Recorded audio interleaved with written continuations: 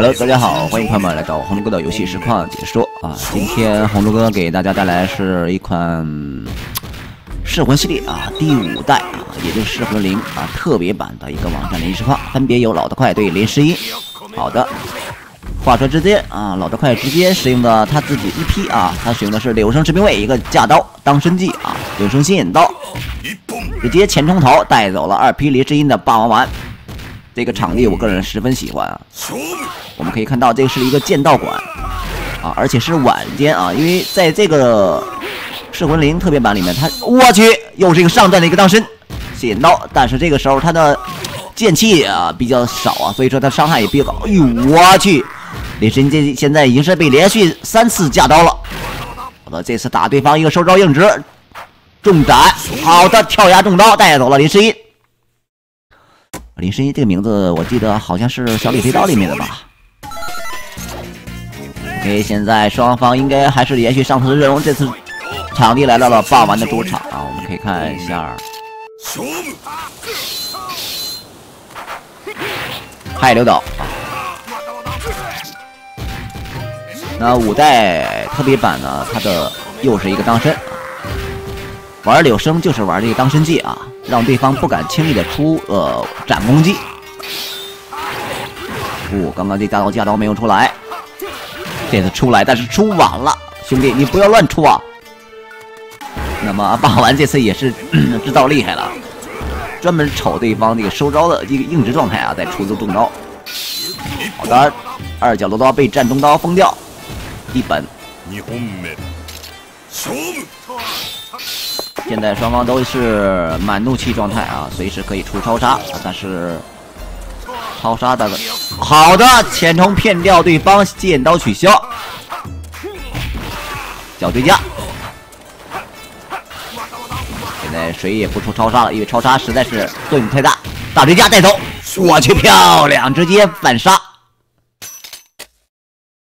我可以看到柳生士兵卫在地上还挣扎了一下。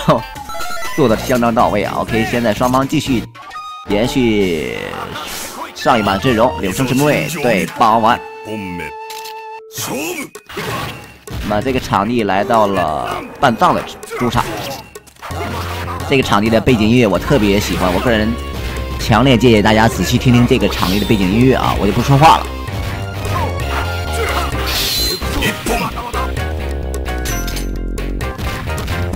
二本目。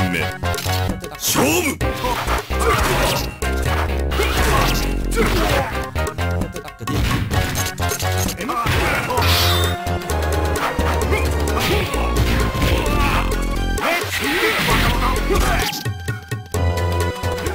OK，要爆气，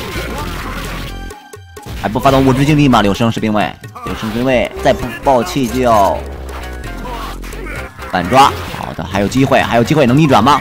哎，这是，哎，爆气救命了！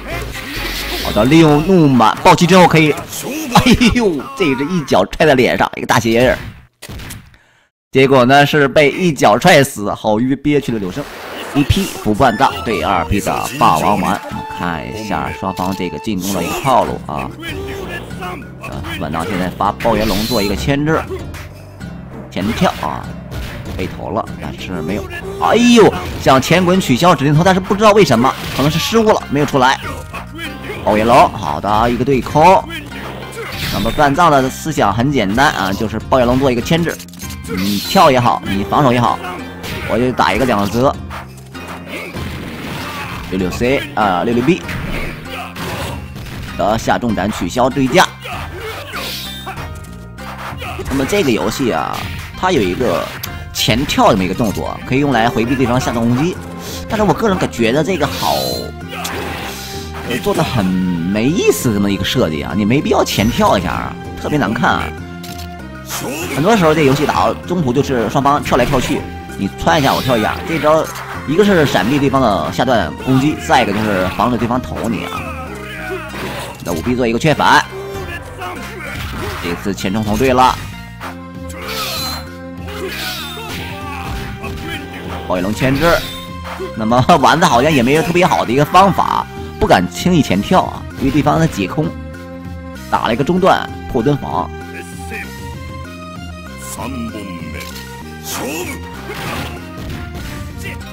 这个场地是噬魂五代那个刘云飞的主场啊！一听这个这个调调调啊，就是我们中华传统古音乐啊。